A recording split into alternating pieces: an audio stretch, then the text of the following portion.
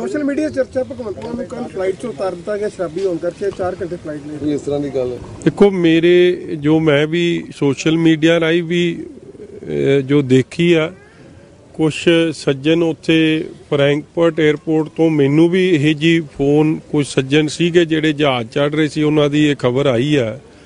ਐਡਾ ਵੱਡਾ ਆਮ ਆਦਮੀ ਪਾਰਟੀ ਦਾ ਦਿਖਾਵੇ ਦਾ ਇਜਲਾਸ ਹੋਵੇ ਡਰਾਮੇਬਾਜ਼ੀ ਦਾ ਇਜਲਾਸ ਹੋਵੇ, ਉਸ ਇਜਲਾਸ ਨੂੰ ਜਦੋਂ ਇਹਨਾਂ ਦੇ ਇਹਨਾਂ ਦੇ ਤਾਂ ਹਰ ਸਾਹ 'ਚ ਅਰਵਿੰਦ ਕੇਜਰੀਵਾਲ ਇਹਨਾਂ ਦੇ ਨਾਲ ਹੁੰਦਾ, ਤੇ ਉਹਨਾਂ ਦਾ ਪ੍ਰੋਗਰਾਮ ਹੋਵੇ, ਉਹਦੇ 'ਚ ਇਹਨਾਂ ਦੇ ਮੁੱਖ ਮੰਤਰੀ ਪਹੁੰਚਣ ਨਾ, ਤੇ ਇਹਦੇ ਬੜੇ ਸਿੱਧੇ ਸੰਕੇਤ ਆ, ਕੋਈ ਚੱਕਰ ਤਾਂ ਹੈ।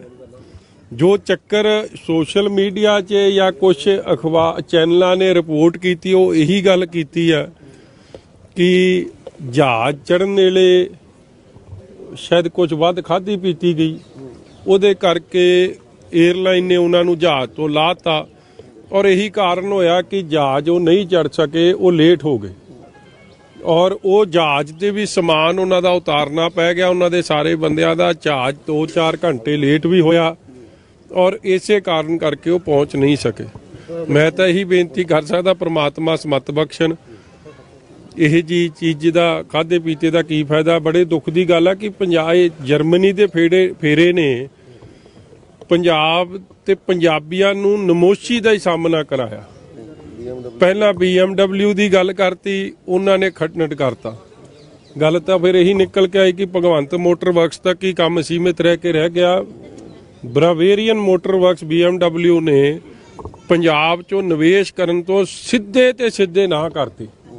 ਕਿਸੇ ਮੁੱਖ ਮੰਤਰੀ ਲਈ ਇਹ ਤੋਂ ਵੱਡੀ ਨਮੋਸ਼ੀ ਕੀ ਹੋ ਸਕਦੀ ਹੈ? ਫਿਰ 70 ਸਾਲ ਦਾ ਐਡਾ ਗੌਰਵਮਈ ਇਤਿਹਾਸ ਹੈ ਸਾਡੇ ਦੇਸ਼ ਦਾ, ਪੰਜਾਬ ਦਾ। ਉਹਦੇ ਮੁੱਖ ਮੰਤਰੀ ਦੀ ਇਹੀ ਜੀ ਚਰਚਾ ਚੱਲੇ। ਕਿ ਉਹ ਜਹਾਜ਼ ਤੇ ਇਸ ਲਈ ਨਹੀਂ ਚੜ ਪਾ ਸਕੇ, ਕਿਉਂਕਿ ਉਹਨਾਂ ਨੂੰ ਡੀਪਲੇਨ ਕਰਨਾ ਪੈਗਾ ਉਹਨਾਂ ਨੂੰ ਵੱਧ ਖਾ ਪੀ ਲਈ। ਕੀ ਇਹ ਗੱਲਾਂ ਸ਼ੋਭਦੀਆਂ ਨੇ? ਕੀ ਇਹ ਜਰਮਨੀ ਦੀ ਫੇਰੀ ਆ? ਫਿਰ ਜਰਮਨੀ 'ਚ ਕਹਿੰਦੇ ਜਾ ਕੇ ਪੰਜਾਬ ਨੂੰ ਸ਼ੋਕੇਸ ਕਰਨਾ। ਪੰਜਾਬ ਦੀ ਵਿਧਾਨ ਸਭਾ ਦਾ ਤਾਂ ਰਿਕਾਰਡ ਕੱਢ ਲਓ, ਉੱਥੇ ਤਾਂ ਕਹਿੰਦੇ ਪਿਛਲੀਆਂ ਸਰਕਾਰਾਂ ਨੇ ਕੀਤਾ ਹੀ ਕੁਝ ਨਹੀਂ। ਜੇ ਪਿਛਲੀਆਂ ਨੇ ਕੀਤਾ ਕੁਝ ਨਹੀਂ, ਤੇ ਤੁਸੀਂ ਕੀ ਸ਼ੋਕੇਸ ਕਰਨ ਗਏ ਗਏ ਸੀ?